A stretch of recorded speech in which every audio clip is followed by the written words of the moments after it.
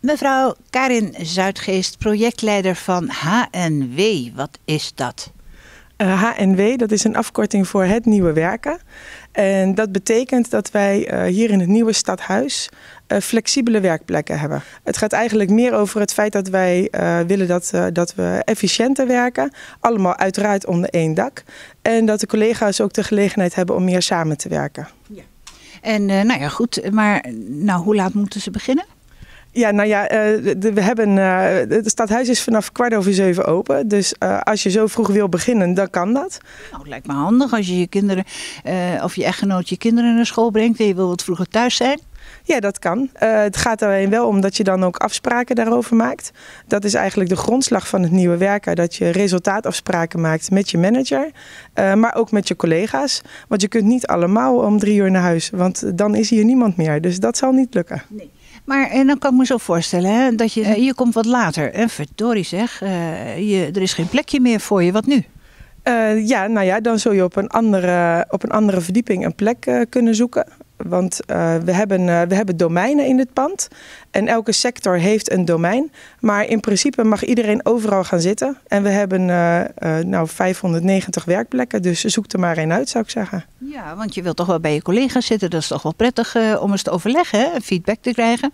Ja, voor het overleggen en samenwerken is dat prima. Uh, toch is het, merken wij ook dat, uh, dat er collega's zijn die regelmatig geconcentreerd willen werken. Uh, als er een beleidsnota geschreven moet worden, willen mensen ook vaak eventjes in een stilteruimte zitten. En ook dat kan hier in het nieuwe stadhuis. Dus je kunt eigenlijk zelf kiezen waar je gaat zitten. Ja. Jullie hebben stilteruimtes. Ja, klopt. Dat zijn eenpersoonsruimtes waar, uh, ja, waar je de deur dicht kan doen. En waar je dus uh, geconcentreerd kan werken voor een bepaalde periode. Een soort monnikcel. Een monnikcel? Ja, waar een monnik in woont en leeft. Oh zo, ja ja. Nou, dit is wel wat, uh, het is wat meer open, want het, zijn, het is helemaal transparant. Uh, het is wel deels gesloten, uh, maar nou ja, het, is, het is een open stadhuis met veel glas. En dat is binnen ook zo. Dus het is niet een hokje waar je echt in opsluit, alleen qua geluid wel. Nou, dan kan ik me voorstellen dat je ook wel eens vergaderen moet. Uh, gaat dat ook gewoon in deze open ruimte, terwijl alle collega's toehoren of misschien ook gestoord worden? Nou, daar hebben we verschillende oplossingen voor. Uh, er, is, een oplossing van uh, vergaderen informeel. En dan kun je gewoon eventjes tegenover elkaar gaan zitten. Um, als je echt wat formeler wil praten of even een gesprek hebt met iemand wat niet iedereen aangaat, dan zijn er op de domeinen verschillende vergaderkamers. Uh, die, die variëren van vier persoons tot acht persoons. Die kunnen collega's gewoon gebruiken. En als we met externe vergaderen, dan hebben we op de eerste verdieping een vergadercentrum. Nou hebben jullie natuurlijk uh, ongetwijfeld voorbereid, maar uh, wat waren de reacties eigenlijk van uh, de collega's van de ambtenaren? Nou, dat is heel wisselend. Ja, sommige mensen die, die, zien er, die zien er heel erg naar uit. En die kunnen niet wachten totdat ze van al deze verschillende werkplekken gebruik kunnen maken.